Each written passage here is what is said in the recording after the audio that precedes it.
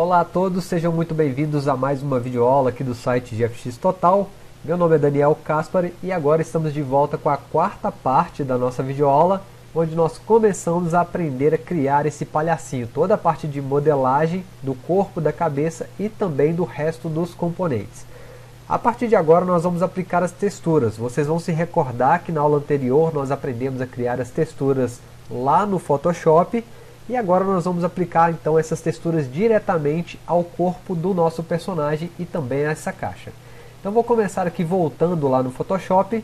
Vocês que acompanharam a aula anterior já sabem como que nós criamos toda essa etapa aqui. Se você não viu, dê uma olhada na aula anterior, na parte 3, que você verá como fazer toda essa etapa aqui. Então nós temos aqui basicamente o rosto ou a face do personagem, temos a caixa e temos também a roupa do nosso personagem. Eu vou começar aqui com a roupa do nosso personagem, eu vou salvar esse arquivo, clicando com o atalho Ctrl Shift S, e ele vai abrir aqui a opção de salvar. Como eu já salvei o editável lá na área de trabalho, ele também vai mostrar essa área aqui pra gente. Eu vou colocar o nome aqui de roupa. Eu coloco aqui simplesmente roupa, vou salvar no formato JPEG e salvamos lá na área de trabalho. Aqui está a roupa do nosso personagem na área de trabalho. Bom, com essa roupa criada, vamos abrir o Max novamente. Eu vou abrir aqui o editor de materiais, para a gente poder adicionar os materiais ao nosso personagem. Aqui eu vou fazer algo um pouco diferente do que nós estamos habituados. Eu vou tirar aqui o renderizador padrão, que é o V-Ray que eu utilizo atualmente. Vou deixar como scanline. Daqui a pouquinho vocês vão perceber o porquê disso aqui. Vamos fechar. Vou fechar aqui essa aba do editor de materiais e vamos carregar a nossa primeira textura que nós criamos lá na área de trabalho. Então simplesmente arrastamos aqui para dentro do Max, soltamos dentro da janela e temos o nosso primeiro bitmap. Tá? Daniel, eu poderia criar esse material do palhaço dentro dos materiais do Max? Poderia perfeitamente. Isso aqui, por exemplo, seria um gradiente. Você pode vir aqui criar um gradiente com essas duas cores que vai funcionar da mesma maneira. Só que para facilitar o entendimento, eu fiz tudo lá no Photoshop e assim vai ficar um pouco mais fácil, tá? Então vamos lá, mais uma vez, vou voltar no Photoshop agora, vou salvar a segunda textura, que seria a caixa, então salvamos lá na área de trabalho como caixa, e o formato JPEG, ok, já está na área de trabalho, vamos arrastar para dentro do Max, mais uma vez aí o mesmo procedimento, e temos aqui a caixa agora, e por fim, vamos arrastar a face que nós criamos do personagem. Essa face aqui, ela cabe alterações, que eu vou mostrar para vocês daqui a pouco, mas por enquanto eu posso deixar aqui como face ou rosto mesmo.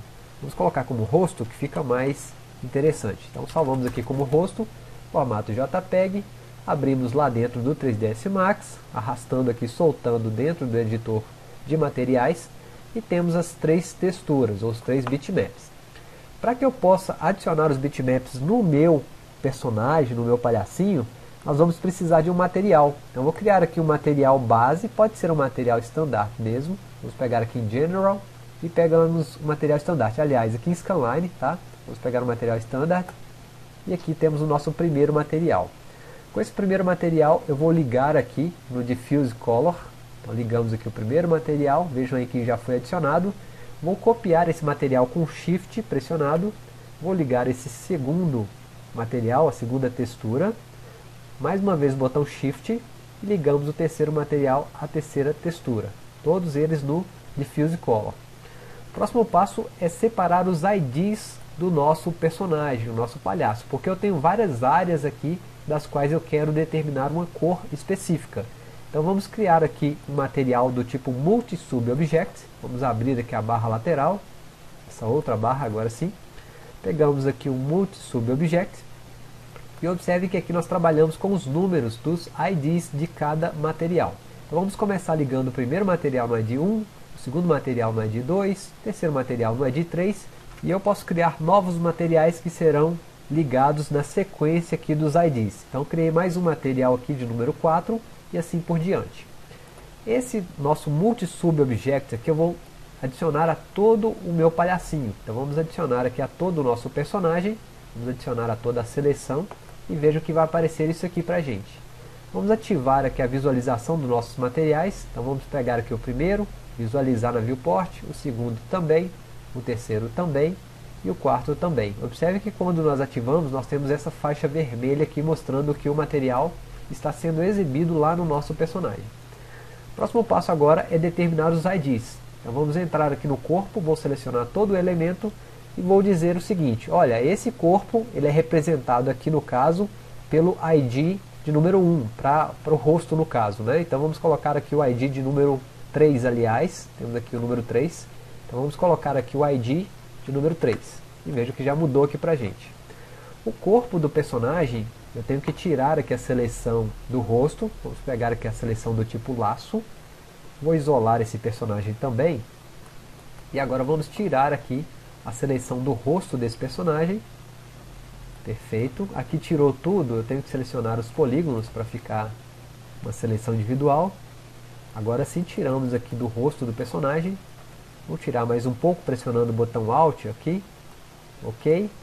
E agora temos aqui o corpo. O corpo será o ID de número 1. Então colocamos aqui o ID de número 1, representado por essa cor aqui. Tá? Lá nas mãos vai ser o mesmo procedimento. Eu vou procurar aqui o ID do rosto, que é a cor da pele. Vamos pegar aqui o elemento das mãos e vamos colocar ID de número 3. Por enquanto está tudo bagunçado, mas daqui a pouco vocês vão perceber o que, que vai acontecer. No cabelo eu vou adicionar o ID de número 4, inclusive eu já vou adicionar aqui uma cor azul, representada pelo cabelo. Vamos capturar essa cor do cabelo aqui da nossa referência. Ok, vou deixar aqui um brilho leve e vamos adicionar esse material de número 4 aqui ao cabelo do nosso personagem. O que eu estou fazendo aqui é simplesmente selecionando partes do meu modelo para que eles recebam materiais diferentes. Então aqui recebeu a cor de número 4. Vou criar mais um slot branco para representar ali a parte do gorro. Vou deixar aqui levemente cinza e vou ligar ao ID de número 5. Aqui eu vou começar a fechar os materiais, eu creio que vocês já entenderam. Eu vou deixar aqui tudo fechadinho, só para organizar melhor mesmo, tá? Vamos fazer aqui a organização dos nossos layers, agora sim. Vou começar a puxar aqui para baixo também. Essa parte aqui branca, o ID de número 5, eu vou deixar nessa borda aqui do gorro do nosso personagem. Então para isso eu seleciono todo o elemento, adicionamos o ID de número 5. Agora eu tiro a seleção da borda mais uma vez, como nós fizemos lá na parte da cabeça do personagem. Vamos tirar toda essa seleção aqui de baixo, ok? Aqui da pontinha também eu vou tirar. Vou deixar o ID de número 5 aqui nessas partes. Perfeito. Vou adicionar o ID de número 6, que ainda não foi criado, porém eu vou criar aqui agora com o material vermelho, representando o gorro. Inclusive eu vou capturar também a cor lá do gorro, para ficar mais fácil de entender. Ligamos aqui no ID de número 6, e vejo que o nosso material foi adicionado aqui perfeitamente. Se tiver algum erro acontecendo, como nesse caso, seria o ID que foi adicionado de forma diferente. Então vou voltar aqui, vamos colocar ID 5, isso aqui vai corrigir pra gente, tá? Bom, aparentemente aqui falta somente o nariz do personagem, então vamos copiar mais uma vez, vamos ligar ao ID de número 7 e vamos adicionar aqui ao ID, ao, ao nariz do personagem, primeiro eu vou converter como de table poly e vou adicionar o ID de número 7. Ok, vamos ver aqui como está ficando. Nesse material aqui de número 7 seria roxo, então vamos pegar aqui, clicando duas vezes e vamos capturar a coloração do nariz, como roxinho aqui, ok? Vamos ver como está ficando, perfeito. E lá na caixa, nós vamos adicionar esse mesmo material, esse Multi-Sub Object aqui, perfeito. Na caixa eu vou adicionar aqui o ID que representa a coloração da caixa, que é o 2. Então ligando aqui eu vou selecionar todo o meu, meu material da caixa. Selecionamos todo o elemento Colocamos aqui o ID de número 2, apresentado aqui pela caixa. Na tampa não é diferente, vou colocar o 2 também. Convertemos como editable poly primeiro e adicionamos o ID de número 2. Ok? A partir de dentro dessa caixa, vou adicionar aqui mais um material, que seria o um material marrom. Ele vai estar ligado aqui no ID de número 8. Vamos capturar aqui a coloração marrom interna da caixa. Então pego aqui esse marrom interno, selecionamos toda a área interna dessa caixa através aqui do Ground Selection. Vou aumentar essa barra lateral para ficar mais fácil de acessar. Damos aqui um Grow. E nessa parte interna da caixa aqui eu vou adicionar o material ID de número 8 então. Aqui na tampa não é diferente. Vamos adicionar o material ID de número 8, selecionando a parte de dentro, aplicando o Grow e adicionando o ID de número 8. A partir de agora, cabe somente o chamado mapeamento. O mapeamento nada mais é do que a distribuição das texturas de forma uniforme sobre o nosso personagem. Ficou faltando aqui somente o gorro. Nesse gorro aqui eu vou adicionar o material ID de número 5, que é o mesmo branquinho ali. Gorro não, né? Esse seria essa, esse colar. Então vamos colocar aqui o ID de número 5 e ele vai ficar branco também, tá? Bom, vou isolar aqui o nosso personagem juntamente com o narizinho dele para a gente poder ter uma noção melhor de distribuição. E veja que como nós temos uma simetria, os dois lados estão iguais. O que eu vou começar aqui fazendo seria a seleção da cabeça. Então vou fazer aqui um Ctrl I para inverter a seleção. Nessa cabeça eu vou aplicar um mapeamento do tipo UVW Map. Vamos aqui em UVW Map no formato planar. Vamos girar esse plano aqui, ou gizmo, ou simplesmente vamos aqui na direção, vamos mudar aqui a direção para o eixo Y e agora eu vou aumentar o gizmo. Então veja que aumentando o gizmo, eu consigo controlar aqui a posição do olhinho do personagem. Aqui eu começo a perceber que nesse tipo de mapeamento eu preciso que o olho seja menor lá nas texturas e seja mais afastado também. Então volto lá no Photoshop e vou editar. Como eu mostrei para vocês, vou excluir aqui esse grupo da face, grupo somente. Vou pegar aqui o primeiro olho do personagem, vamos agrupá-lo juntamente com a primeira primeira parte de cima aqui da, da sobrancelha, ok? Faço o mesmo procedimento com a parte de baixo aqui, vamos juntar o olho também, agora sim, consigo controlar aqui, vou distanciar um pouquinho mais, e vou reduzir o tamanho desses olhos aqui, então vamos deixá-los menores, Ctrl T, reduzimos o tamanho, aqui está bom, as bochechas rosadas eu vou deixar mais ou menos aqui mesmo, salvamos esse arquivo mais uma vez, Vou salvar lá na parte do rosto. Vamos ver como que está ficando lá no Max. Então vejam que atualizou aqui já. Agora vamos aumentar a, a área do nosso mapeamento. Posicionamos aqui do lado. E agora eu vou comparar lá com a nossa referência. Sempre comparando com a referência para ter essa noção de como está ficando. Então aqui já ficou bem próximo, só que o olho aqui ele tem que estar tá maior. Então vamos lá no Photoshop. Vou aumentar aqui o primeiro olho nessa área mesmo. Vou deixar maior. E aqui também vou aumentar o olho, deixar na mesma área. Vamos salvar mais uma vez esse, essa imagem, no caso como rosto, JPEG. Vamos lá no 3ds Max e vejo que já melhorou.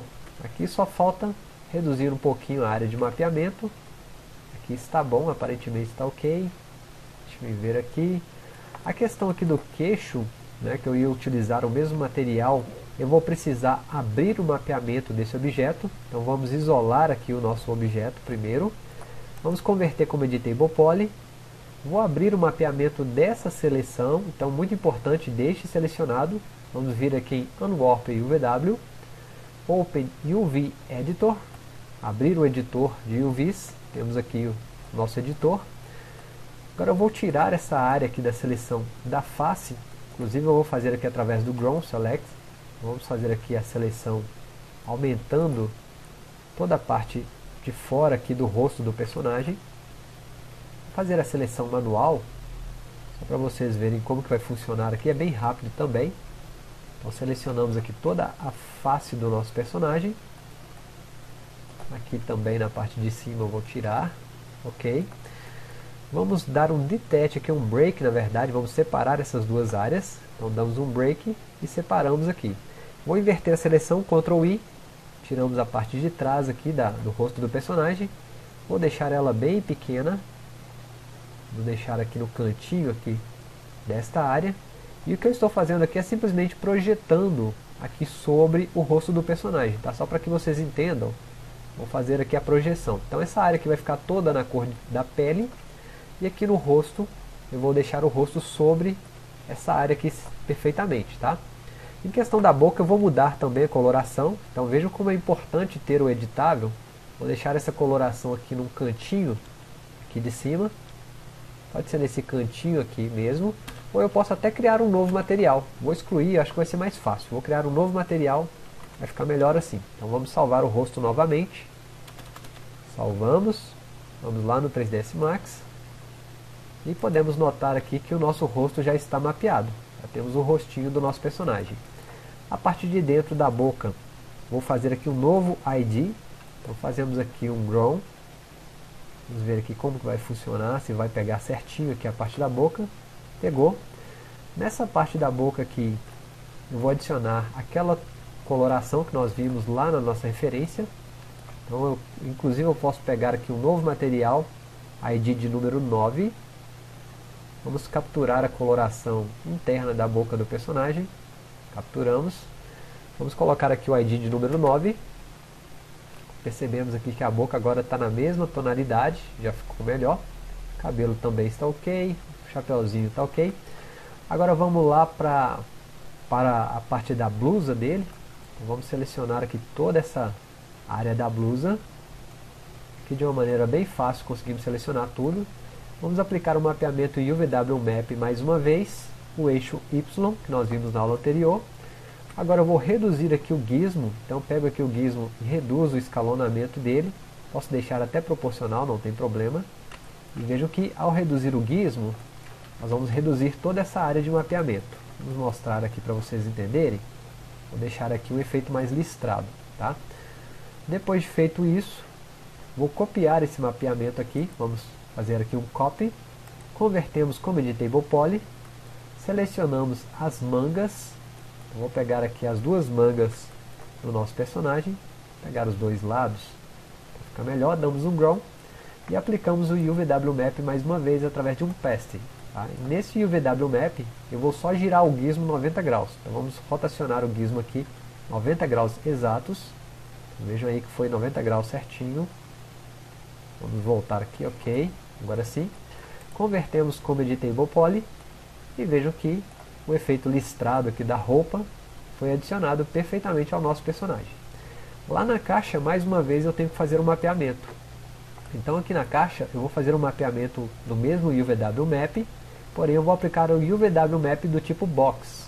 UVW Map do tipo Box, meio que com uma mágica e já coloca certinho pra gente. Faço o mesmo procedimento aqui, vamos aplicar o UVW Map do tipo Box. Então UVW Map Box já vai mapear para a gente. Só que aqui tem um detalhe, veja que a parte de cima da caixa ela vai copiar a mesma coloração das laterais. A rotação também, eu vou zerar novamente, vamos pegar aqui o gizmo, eu vou trabalhar esse gizmo aqui para que ele fique diferente. Então vamos aumentar o gizmo, descemos o mapeamento, vamos descer aqui, ok. Vou fazer aqui um flip também, vamos fazer um flip aqui na, em uma das direções, Aqui no caso a direção V, vertical. Posicionamos aqui acima. Acho que aqui já está bom, já ficou bem parecido lá com o nosso desenho. Vou aumentar só mais um pouquinho agora. Só para deixar aqui bem similar. Convertemos como editable poly. E vou aplicar um último mapeamento aqui na tampa, que seria mais ou menos esse mesmo mapeamento através de um UV Map, porém eu vou aumentar essa área. Então pego o gizmo aqui e aumento para que ela fique toda rosinha, tá? no mesma tonalidade da caixa. A partir de agora vamos ver aqui com a caixa aberta que ela tem os dois tons. Aqui abaixo, se você quiser, se for um pouquinho mais perfeccionista, como eu gosto de ser, você pode vir aqui e só fazer o mesmo efeito da tampa. Então você vai aplicar aqui UVW Map, vai aumentar o gizmo, ou seja, a área de atuação desse UVW Map, e converter como Editable Poly. Somente isso aqui já vai gerar a sua caixa perfeitamente. Bom, na próxima videoaula nós já podemos passar para a parte de animação. Eu acho que vai ser bem mais interessante para vocês aí aprenderem a parte de animação. Só um detalhe aqui que faltou nas mãos. Nessas mãos aqui eu vou aplicar o UVW Map. Nessas mãos, só para vocês verem o que, que vai acontecer. Vamos abrir o mapeamento Open UV Editor. Vejo que as mãos são esses quadrados aqui. Vou aplicar um Planar Mapping só para deixar elas retificadas na direção. Então apliquei aqui um planar mapping, temos as duas mãos. E agora eu vou aplicar essas mãos na área que representa a parte da pele. Então coloco aqui rosto, pego as mãos, coloco nessa área aqui da boca mesmo, né, que seria a boca no caso, está tudo na mesma cor da pele. E aqui eu percebo que as mãos estão ok. Se eu colocar as mãos aqui sobre o rosto, ela vai assumir a coloração do olho, por exemplo, ou desse tom rosa aqui da, da bochecha. Vou deixar aqui abaixo, vou deixar um pouquinho maior também, tá bom? E agora posso converter como Editable Poly. Simplesmente isso, já concluímos aqui o nosso personagem. Outros detalhes que vocês podem notar, por exemplo, esse dente aqui, ele pode ser adicionado posteriormente, não há prejuízo nenhum nisso. Você pode simplesmente aqui vir com um box, vou criar um box aqui na, na vista front.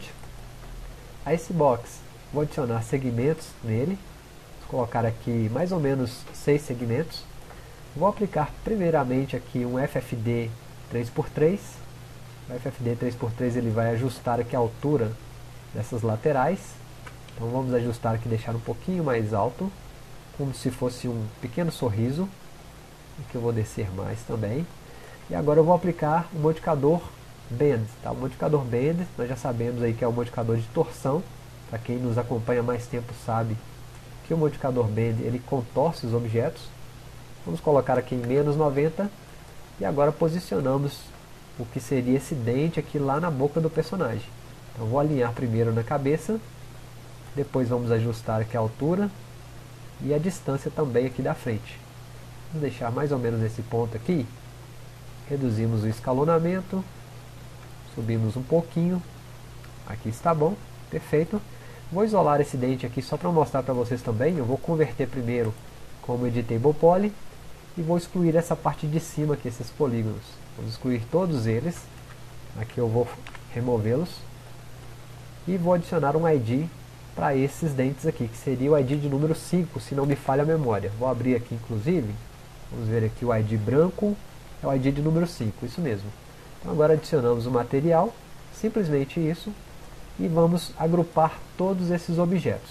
Então vamos pegar aqui o rosto, vamos dar um i-teste nas mãos, vamos dar um i-teste no corpo também, vamos dar um i-teste aqui nesse colarinho, no cabelo e também aqui no chapéuzinho. Falta somente o nariz, agora eu tenho aqui uma única peça, falta também os dentes, né? Então vamos dar aqui um i-teste. Aqui nos dentes deu uma diferença aqui, deixa eu ver porquê. Aqui eu vou aplicar o mesmo material a todos os objetos, só para ficar melhor. Então vamos fazer aqui mais uma vez, agora sim. Vamos dar um novo teste aqui nos dentes, perfeito. E temos aqui um único objeto para a gente poder fazer a parte de animação que será a próxima videoaula. Mais uma vez reforçando, é muito importante a sua participação aqui no nosso canal para que nós possamos postar mais e mais conteúdos de qualidade para que você possa aprender. Então vê se não esquece de se inscrever no nosso canal, ativar as notificações e também deixar aquela força para a gente através do seu like. No mais, eu deixo um grande abraço a todos e bons estudos.